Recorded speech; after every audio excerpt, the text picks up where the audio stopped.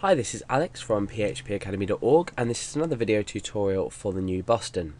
Now, if you've watched some of my other tutorials that I've created, you will see that I'm now in a different environment and I'm not using context for this tutorial.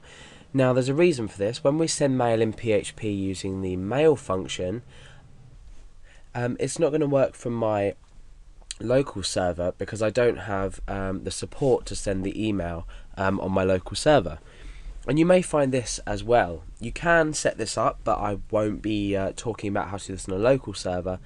As with most paid hosting, you will have access to uh, be able to send mail using this function. So let's go straight ahead and send a basic email. So I'm going to create a file now called index.php. I'm going to click create new file. That's created that in here for me. Now I'm going to click on code editor so we can start editing this file. Okay, so obviously the first thing we want to do is create PHP tags. Now, the, the mail function basically looks like this, and it takes typically, um, in the case that we're going to do, four parameters. Uh, one after that is optional. I think it takes five pa parameters in total, uh, but you can go to the um, PHP manual to look that up. Now, we need to create a few variables in order to put into this function. The first one is 2 this is the email address that the email is going to be sent to. So in this case, I'm going to say alex at phpacademy.org. This is my press and business email address only.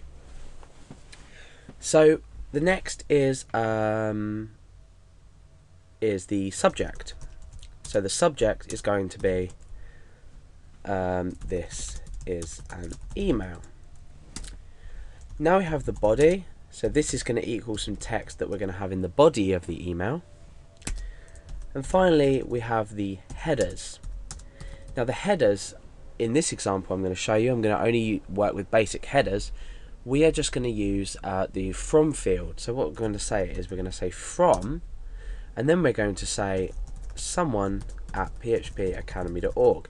This is the name that is displayed, um, or the email address that's displayed from. So if I was, say, sending a mail to someone after they'd registered, after they'd registered, say, uh, with the website and the registration process has completed, I could send it from no reply at phpacademy.org or I could send it from um, admin at phpacademy.org. The email address doesn't necessarily have to exist. So let's uh, specify a body. Um, let's say we're going to come down here and we'll start saying, in fact we'll go up here, we'll say um, this is a test email. I'm going to use backslash and n to go to a new line and then backslash and n now to go two new lines so I'm starting a new paragraph.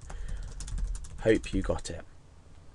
Okay, so now what I need to do to actually send the email is use the mail function and then pass these arguments um, to actually send the email. So the first one you need to specify is who it's to, so the recipient email address. Then you need to specify the subject of the email. So our subject is this is an email. Then you need to specify the body. So our body here is equal to this is a test email. We go down a new paragraph, which is equivalent to two lines, and then we say hope you got it.